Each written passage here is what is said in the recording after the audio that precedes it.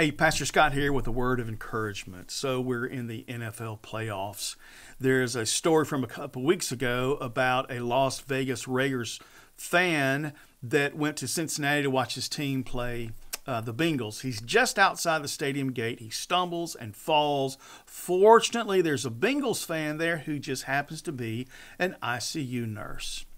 He comes to his aid and starts administering CPR and continues on until the emergency personnel uh, took over. Um, even though he and his patient were uh, rooting for different teams, he later said, It doesn't matter who you are, you deserve to live. That's what matters.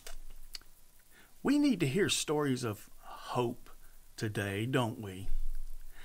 I'm not so sure that things really are as bad as they are portrayed out there.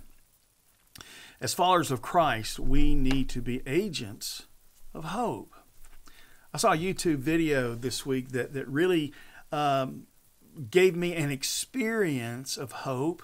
Uh, in the video, over 65 churches and Christian movements in the UK came together as a mass choir, and virtually they sang the song, The Blessing, over their nation. I'm including a link to that video so you can watch it right down here.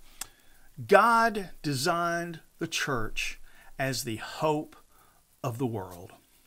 Paul says in 1 Corinthians chapter 12 that the church is the body of Christ. The, the church is the visible manifestation of Jesus' ongoing ministry on earth.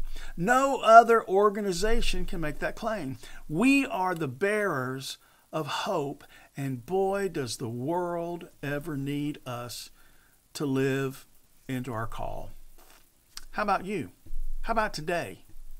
Will you today find an opportunity, be aware of an opportunity where you can be an agent of hope? And I believe this if you do that, you'll be encouraged.